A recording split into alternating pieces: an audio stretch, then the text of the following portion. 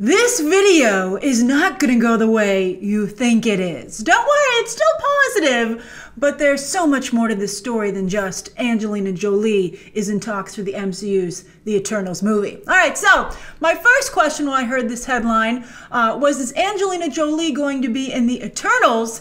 like Michael Douglas is in the Ant Man movies or like Annette Bening is in the Captain Marvel movie. You know what I'm talking about because Douglas's larger supporting role has been the exception, not the rule, when it comes to the MCU casting Hollywood legends. Such a cheap trick, Feige. I can't, you know, the things that Marvel gets away with that any other franchise would be criticized for. I guess he still gets them though, to be fair, right? Uh, but you know, when when these people are mentioned to be cast, you're like, oh, I can't wait to see them. Oh, that's okay. That's just a walk on or whatever.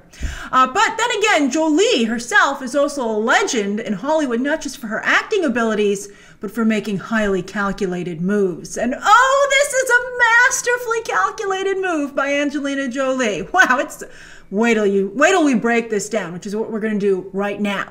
Now, everyone's wondering who she could be playing in the movie. I think it's very unlikely that she'll be a lead in the Eternals because the MCU, and I don't think this is a great strategy, but they skew much younger with their lead casting these days. Example, prime example, Brie Larson over Emily Blunt or Charlize Theron. Uh, but she'll likely have a larger supporting role like Douglas because you better believe if Jolie is going to be in the MCU, she's going to be in the MCU. Jolie will want to be like really roll up her sleeves and get in there. And you know, just like with Brie Larson, Feige might end up maybe being like this wasn't such a good idea because uh, Jolie has such a strong, you know, even more so. Uh, I guess maybe in some ways Brie Larson's like a little Angelina Jolie, uh, which would be very complimentary to Brie Larson. But you know, Angelina Jolie makes it all about Angelina Jolie, and uh, the MCU is supposed to be more of a group effort, but we'll see.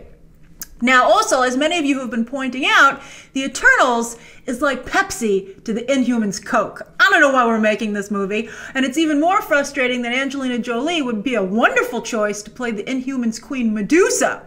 Uh, considering, you know, I tell this story all the time, but you know, as, mu- as much as I feel Jolie's a little shady in her business dealings, I'm awfully impressed with how she handled the first Maleficent movie. As I've told you again, uh, thinking about how the visual effects would be done while she was filming it, and then actually sitting down with the VFX team in post and walking them through it, saying, This is what I imagined. Can you maybe make it look like this? What are you thinking? And they, you can't argue with the results. I mean, even if you didn't love the movie, she looked damn cool in it. And a lot of that is because of her craft, so kudos to her.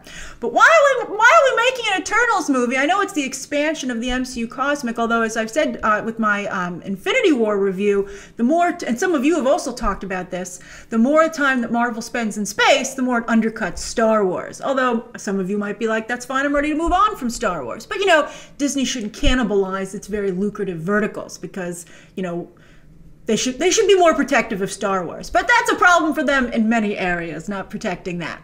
But why don't we have an X-Men and Fantastic Four movie uh, taking this spot instead now that they're on the table?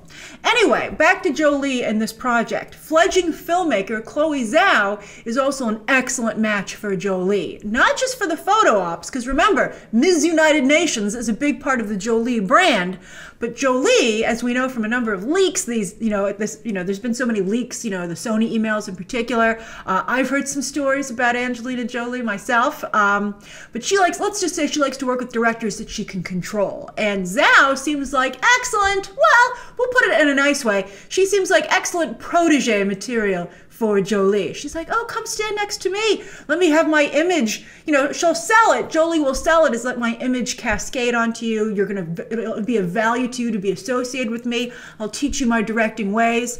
But it's like the way this is really going to turn out is that everyone's going to, Angelina Jolie will be in all the pictures and she'll, you know, everyone will be like, well, this movie was kind of co-directed by Angelina Jolie, right? And that's, that's just the way Angelina Jolie wants it. Now, furthermore, let's not forget that Jolie is starring in another Disney movie that's fast approaching Maleficent 2, Mistress of Evil, which was just moved up to later this year. And at the moment, uh oh, Jolie has a bit of an image problem. Uh, she tried to vilify Brad Pitt in their divorce, only to have her smear campaign backfire in a rare, in a rare misfire for Jolie, PR wise, with both Hollywood and audiences sympathizing with Pitt. Then, right around the same time, Vanity Fair published a cover story on Jolie's indie film uh, First They Killed My Father, where her casting process for uh, casting local children in the film seemed, let's just say, questionable. And there was a lot of, you know, she had to fight. She's she she called the article out. Vanity Fair stood by the article. It was not. It was another rare misstep for Jolie. So what you're seeing now is Jolie in a partnership with Disney, because Disney, you know, has a lot invested in her now, launching a charm offensive for the actress. For instance, she already attended the Dumbo premiere with her children, even though she has nothing to do with that movie, despite it being another Disney live action remake. And now, casting her in a Marvel movie. This is brilliant because, as we've discussed many times, Marvel fans, particularly hardcore Marvel fans, are rabidly loyal. Look how they steamrolled and, and encouraged Disney to steamroll over Disney's decades image from its inception in order to get James Gunn reinstated, right? And Jolie's like, I'm nothing compared to what James Gunn did. So Jolie could certainly use that Marvel support, that Marvel fan support, not only for the upcoming Maleficent sequel, like suddenly everyone's going to be a lot more interested in the Maleficent sequel, right? From a coverage perspective and also a fan perspective. It's like, oh, you know, the Eternals is coming up. Oh, let's get excited. Let's maybe go see Maleficent. And it'll help her career overall, as it does all the actors who are associated with the MCU. The interest in them levels up for all their projects, even outside of Marvel and Disney. So, do you think Jolie continues to play the game quite well? And are you now Team Jolie because she's Team MCU? Somewhere Jennifer Aniston is like, mother. All right, so anyway, share your thoughts down below. Thank you for going over this with me. And of course, as always, you can check out some more videos right now.